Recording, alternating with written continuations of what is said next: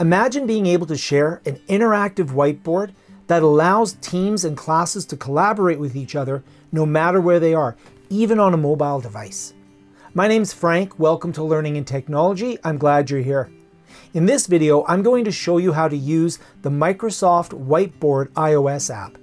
You're going to be able to see how the iOS app works, all the wonderful things we can do with that app, and how we can even use that app at the same time with other people in order to collaborate.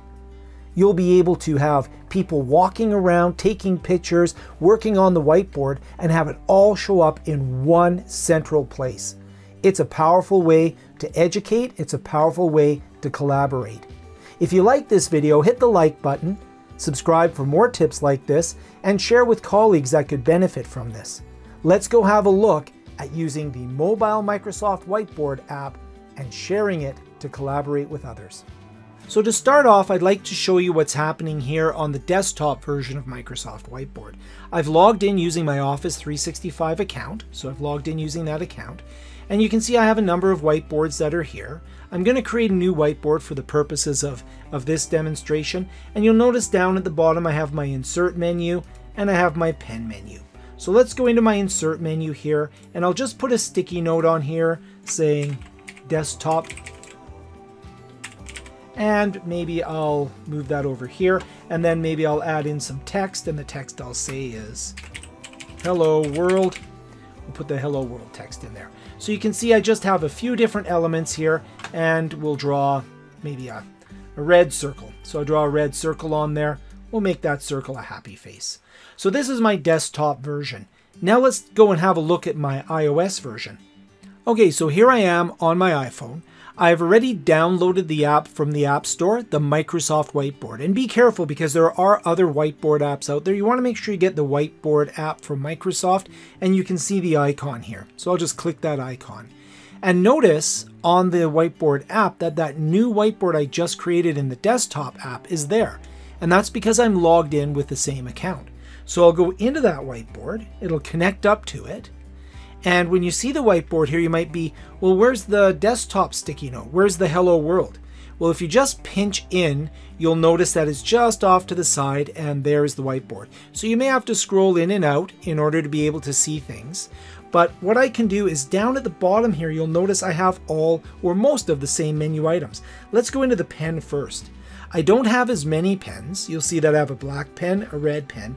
Now in my case I have a pink pen and that's because I grab the pen and if I press on it, it'll actually come up, it'll allow me to change the thickness of the pen and will also allow me to change the color of the pen. So let's make that a nice green pen. And then for the red pen, I'll just change that and we'll make that maybe a nice orange pen. And I'll make that a little bit thicker. So it just goes to show you that I can change the nature of the pen. I still get tools such as my highlighter. I get things such as my um, eraser on here. So if I hit the eraser, I can erase that little blemish I put on there. You get the lasso. Notice that certain things are not here. So for example, I don't have the ruler here and I have a few less pens. And if I go to the insert menu, I call it the insert menu, you'll notice here that I can put in a picture and that'll go to my photo roll. So let's say I want to throw in this picture here. That picture now will appear on this whiteboard and it also will appear on the desktop version. And if I click on the canvas here, I can move things around. And if I click on the picture, I can move the picture around. You can do things such as expand the size of the picture. Just have to grab that little guy there. So you can expand the size of the picture if you'd like. You can rotate the picture. You can do all sorts of cool things. Obviously, I can go back to my pens here and I can annotate the picture, say that's the ocean, those are bushes, right? Uh, if I go in here, I can also go into the notes and I can put in my own sticky note. Hello from afar. So I can say hello from afar. And that's going to put in a sticky note here that allows me to put, you know, I can move that wherever I want to. And if anybody was watching on the desktop, they would see this, and I'll show you that in just a moment. We can also go into, notice once I've selected it, down below I can do things, I can vote on it, so I can give it a thumbs up. I can go into the color of the sticky note. I can copy the sticky note, I can trash the sticky note, and I can also cut or do an alt text on the sticky note. So there's a number of different options down here at the bottom that will allow me to adjust an object. Once I select the object, that's where I get the selection here to, you know, cut, delete, like, all of those good things. If I go into the plus insert menu here, I can paste something that I had. So if I grabbed, say, an email text or something that I wanted to discuss, I could paste it in. I could put in text.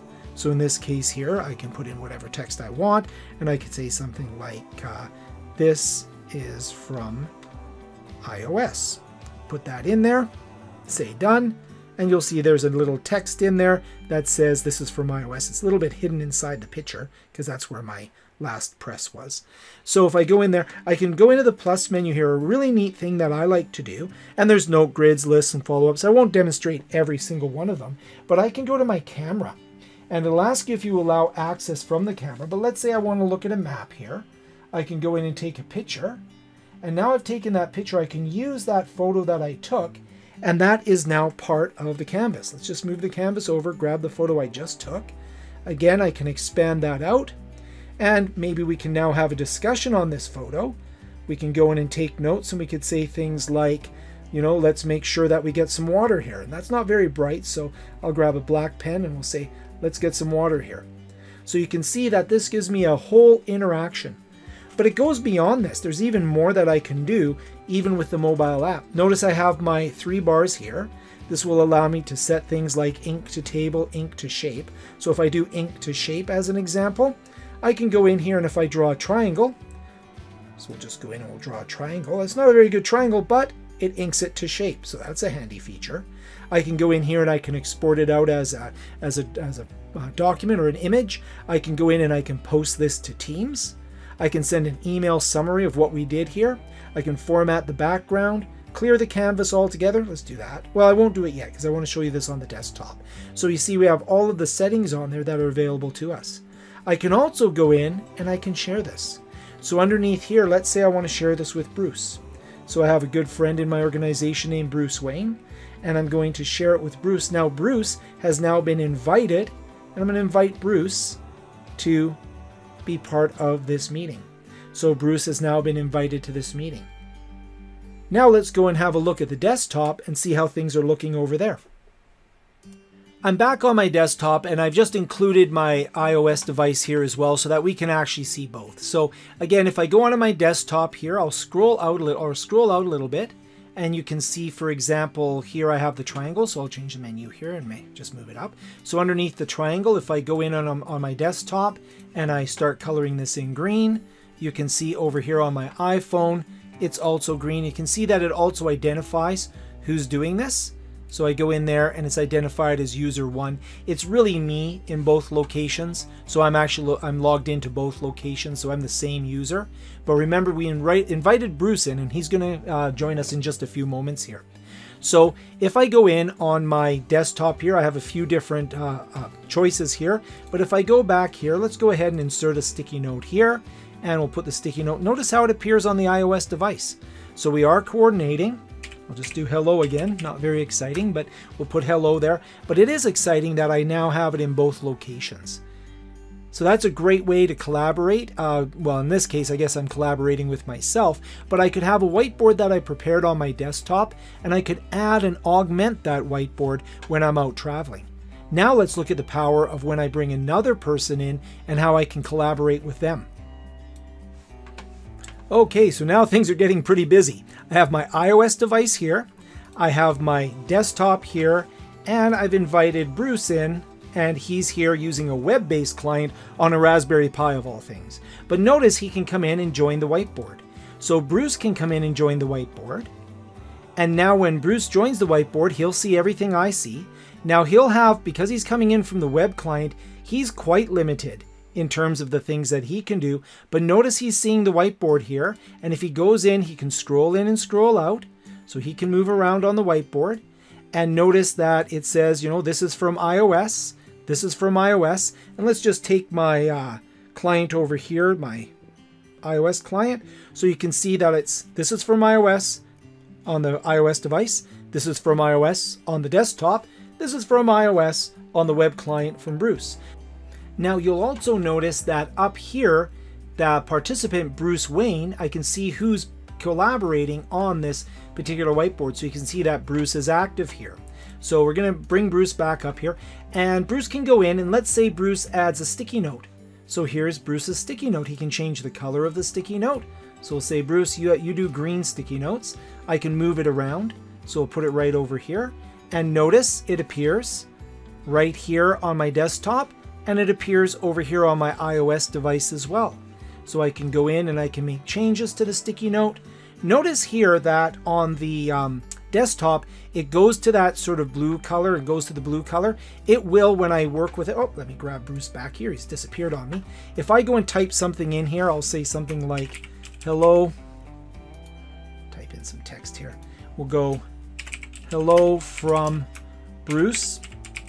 And when we put that information in there, you'll see that that will show up in both locations as well.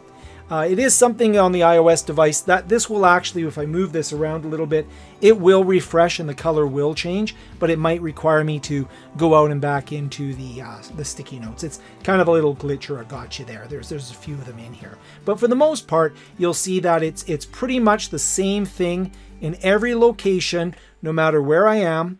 I'm going to see the same information pretty much in the same way, and it's going to allow me to collaborate in a very effective manner. And if I go in on my desktop here, well, actually I'll go in on my iOS device just so we go here. If I go in on my iOS device and I add in another sticky note, and I'll say another uh, about her, another iOS note, and we pop that in there. I spelt it horribly, but you can see here that uh, that I go in here, another iOS note. It did autocorrect for me. I can scroll in, I can see that it's there. Bruce gets to see it, and it goes onto my desktop as well. I just have to move this out of the way a little bit. So there's a great way that we can collaborate using an iOS device in Microsoft Whiteboard. But before I go, I want to go in my iOS device. I'm going to go back. So now I'm I've gone out of my iOS device and I'm going to go over here to, to Bruce as well and we'll put him back to his main menu. And I'll even take the desktop and go back to its main menu. So I'm in the main menu for all three. Okay, so we're kind of going back to the beginning. So in my iOS device, I'm going to create a new whiteboard right here. So I'm going to create a new whiteboard in iOS. And I'm going to go in and you'll notice underneath the insert menu, I also have templates. And templates are a great way if I want to start a new brainstorming session or open up a Kanban board. There's all sorts of very cool different templates that are part of the Microsoft Whiteboard now. And so there's some really neat stuff here in terms of, of working with, uh, with the whiteboard. So let's go ahead and do a problem solving grid in here. And you can see that it's automatically created a nice problem solving grid. I'm actually going to go in and we're going to invite Bruce back in again. So let's invite Bruce back to help us with some of our problem solving. So we'll go ahead and send him an invitation. So he's in there. And then what I'm going to do is I'm going to go over to my desktop and you'll notice that underneath my desktop, the whiteboard automatically pops up. So I'll double click on it. It'll connect up to it. And there's my problem solving template. And if I go over to Bruce, Bruce is going to be, let's just do a little refresh here. So Bruce is going to have a invitation here. It takes a few moments. Join this whiteboard. He's going to join it. And now Bruce can help us with our problem solving. Oh, so in this case here, check it out an object type was added that we can't display in this version of the Might Whiteboard. So this is a little bit of a gotcha. So remember how we had that uh, sticky note where the color didn't change for me? This is an example of an object that cannot be shown in the web-based version. So what we want to do is get Bruce a mobile device or have Bruce use the desktop version of Whiteboard.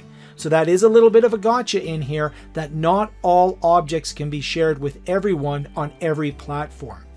And uh, so this is important to us. We'll go back here. So unfortunately, he can join this, this team. He can go in and, and participate. You'll see that he's joined up on the desktop up here if I view, view the roster. And if he goes in, he can certainly scribble on the whiteboard And when he scribbles on the whiteboard, you can see down here he scribbled, but he can't see the object. So just be aware and test it, especially if you're going to use web-based clients. But for the most part, we're going to go in, I just moved a bunch of notes around with my thumb, but uh, for the most part, you know, we want to be able to make sure that we're using um, a client that supports all of the different visuals, so a mobile client or a desktop client. Thank you so much for watching. I hope this video was useful for you. If it was, hit like and subscribe, and I hope it sparks some ideas of how you can have some interesting classroom and team collaboration to be more effective and more productive. Here are some other videos on the channel that you might be interested in, and we'll see you next time.